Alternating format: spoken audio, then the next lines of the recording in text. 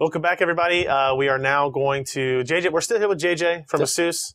Uh, we went through all of our board lineups, all of our feature discussions. Now we're actually going to demonstrate some of these features of the new uh, ASUS Z77 series of motherboards. Uh, there's quite a lot of features. We're not going to be able to touch on all of them uh, on the live stream. We're going to do some of the recorded section only as well. But I tell you what, what do you want to start out with talking about uh, one of the features that we spoke about earlier? Um, I think there's been a lot of questions about USB 3. So uh, Okay. let's start with USB 3 Boost. Okay. Okay. Um, so I think first off, it's important to uh, to kind of discuss a little bit what we have here in configuration parameters because I think some people are confused as relative to how does this all work? What are the requirements for USB 3 Boost and, and how that might work depending on the controllers and things Okay. like that, right? Um, so as we've talked about in the past before, for the Intel controller, right, we have bot protocol support. And then we have the turbo protocol support or SCSI support that we offer within AI Suite. Are, tho- are those two the same thing? Um, you it- guys are just calling it Turbo and software? Yeah, exactly. We just call it turbo because we think it's a little bit easier to understand than SCSI, which a lot of people Sure. might not understand the, the SCSI protocol operation mode.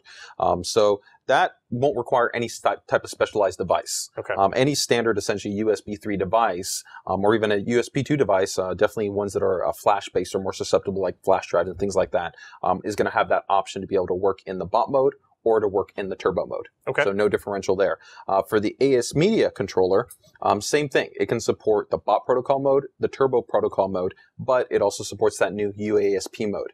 So for this pretense of this uh, demo here, we've got uh, Thermaltake's brand new BlacX 5G enclosure. Okay. This enclosure has been updated to support um, the controller on a physical level and on a firmware level to enable UASP support. So that device that you connect to that port does have to essentially have a handshake um, that sends that information over. It says, "Hey, I'm UASP compliant and I work on a UASP level." Okay, so uh, not all USB 3 devices are going to support that right now, and in fact, it's, we're probably just starting to get We're- into right that. now, yeah, we're just in the infancy of it, and we'll definitely see it to continue to propagate because uh, Windows 8 has certified that UASP is native within the operating system.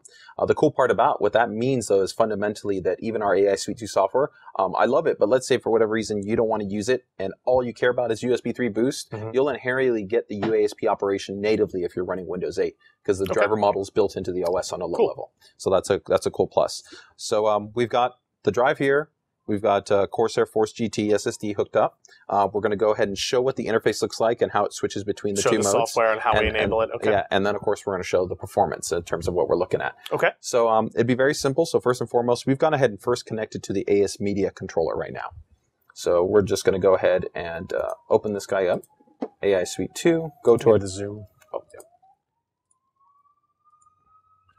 We're just going to enable the uh, magnifier here because of uh, that way we can see close up what we're looking at here since we're doing live streaming stuff. So we can see here, here's the AI Suite interface, and you can see already that we've designated the mode to be in UASP mode of operation.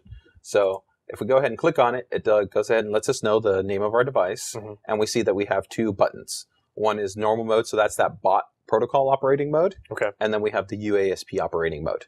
And that's it, you're good to go. So all you would have to do is just click that button to keep it in UASP. Now, if you had a non-USB compliant device, Mhm. will will this be normal and turbo? Correct. So it, if you have UASP, you don't have the option of normal turbo or UASP. Yeah, and uh, It's just normal and UASP. Okay. yeah, if we can fit maybe this drive in here, let's see if we can fit this drive in. Doing stuff live, everybody. Yeah. You can see here now it's gone ahead and detected this other drive. Okay. So if we go ahead and click on it, you can see that this drive actually does not support UASP. So Okay. we have normal and turbo. Uh, but the firmware did handshake correctly to auto sync it into turbo mode. Mm. Um, Now, is that done by uh, like testing on your end? yes, uh, we do do work with validation partners, Okay. um, and we try So this to. don't necessarily automatically handshake yeah, it, I, I a, would ra- a random USB drive. Yeah, I would say it's probably going to be about maybe 65 to 75% of cases. It should auto negotiate and shift automatically into turbo mode. But some firmware from some vendors and some controllers sometimes act a little bit off. Mhm. So you might have to manually enable in that mode. Okay. Um, the cool part about that though is let's say go ahead and I'm done working with my device and I want to go ahead and remove it. So we're just going to go ahead. Normally I always advise, excuse me, sorry about that. I always uh, recommend do safe removal so Ah. that you minimize corrupting the partition table. But I know you guys probably out there love to live wild and fast, so you guys just yank it. So uh, we're going to go ahead and just remove it. And of course, it drive's now disconnected. But if we go ahead and plug it back in, um, it stores a special information to keep the drive retained in that mode of operation.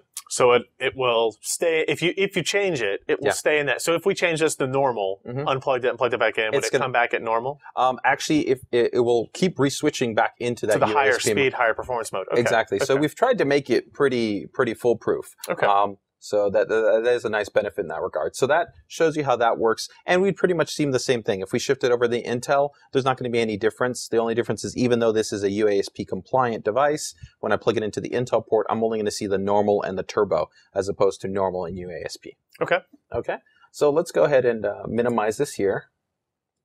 And we're going to take a look at some performance metrics. So the first part is just general kind of USB 3 performance, right? Um, because, of course, everybody's going to have USB Bot 3. normal Yeah, stuff. bot, okay. bot normal. So let's go ahead and just go from a very baseline perspective, because I know that there's always a lot of questions where I think there's a perceived quality level, performance level to the add-in controllers that get put on the board. But actually, from a bot standpoint, uh, the performance is pretty close to each other in reality.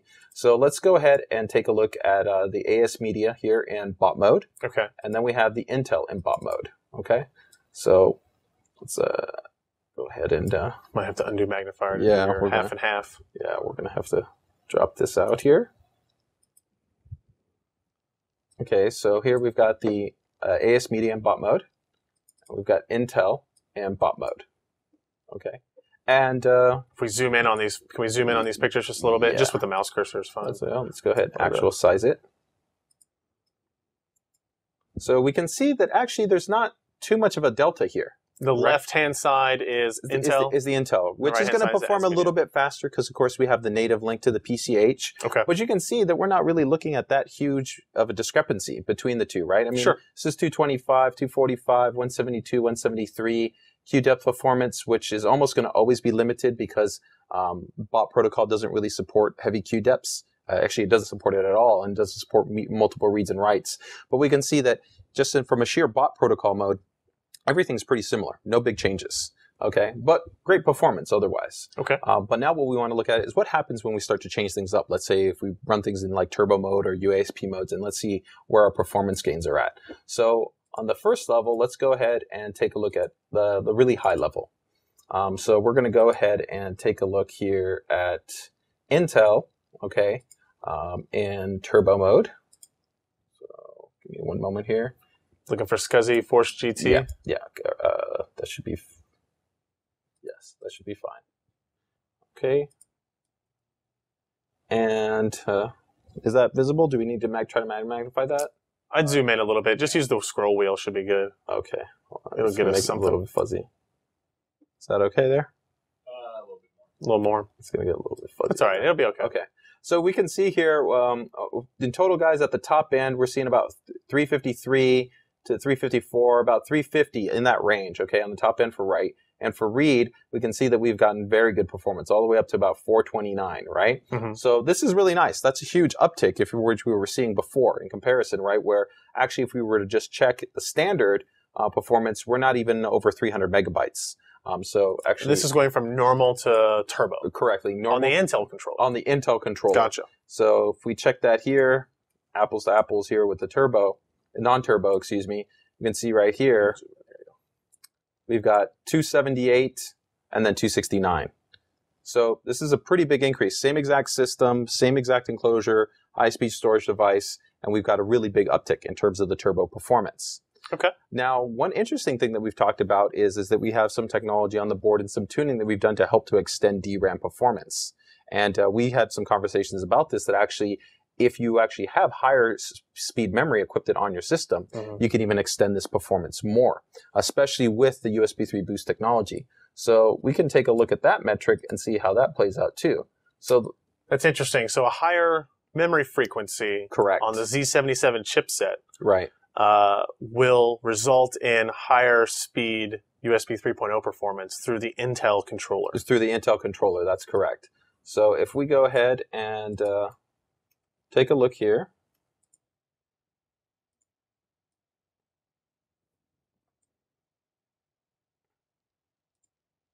And here we have, right, the SCSI. So still both in turbo mode, hmm but this one running at the default memory divider. So the right hand side is default memory speed. Correct. Okay. And here we're running an overclock DDR frequency. This one was 2400 Okay. overclock memory frequency as opposed to the native divider that's supported by Sandy. So write speed sees a pretty significant performance jump going from 350 megs a second to about 410. 410 correct. You still saw a little bit of an uptick in read, not as much, Not as but much, in the but right yeah. performance, it was a sizable increase. Very Definitely, if you were writing to your disk, it would be a noticeable. even looking at like uh, the smaller uh, queue depths. Yep. As- yeah, smaller transfer sizes. Smaller as well. transfer sizes, Yep. for, you're going from 9.1 to 9.7 megs. Yeah, and, and we can see if we, we're taking a look here in these these areas, right? 97 versus 61, 61. right? It's 158 50%. versus 100, right? You're Mhm. getting substantial increases. So normally, right, there's always kind of been that contemplation, well, why might it be justifiable to consider higher frequency memory? Mhm. Uh, for this generation, with different things like this, potentially enhancing your USB 3 performance,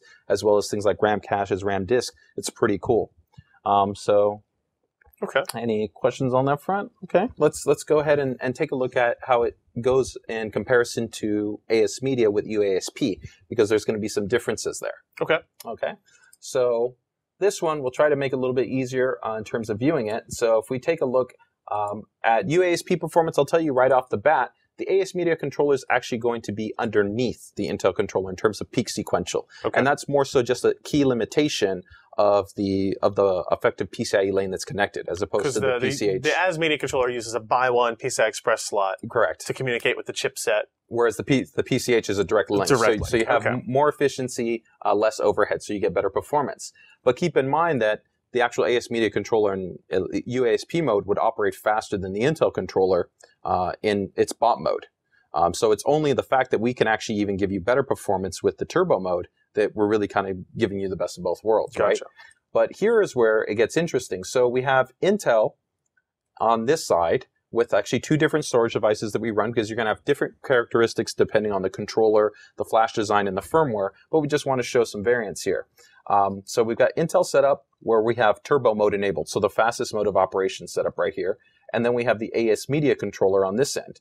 And you can see that when we have multiple queues, so Mhm. you're accessing multiple files, read and writing multiple files, especially if you're working off the drive, doing things like that, the Intel controller, because it doesn't support that UASP, at least under Windows 7, Mhm. right? Um, you can see that there's a substantial difference, right? So here we can see we've got 53, uh, we've got 140 versus. And what would be a use case where you have a queue depth where you're not just doing quick sequential type stuff? Is that work workflow environments? so? If you have a a 160 gig external SSD that you Mhm. connect through USB 3 that you'd maybe Yep. do video editing off of, or video yeah you're actually of. working off of that drive you're actually writing multiple files to it i know for me sometimes i like to read and write and copy at the same time Sure. if you've ever tried to do that to a flash drive you notice it really drops down the performance Okay. um, because the bot protocol can't effectively try to manage that and this even becomes more important later on in windows 8 where i'm sure you've seen there's been changes to like the copy system Right. um, that's a lot more flexible to like pause or prioritize or Yeah. do things like that. So UASP is going to really be advantaged, uh,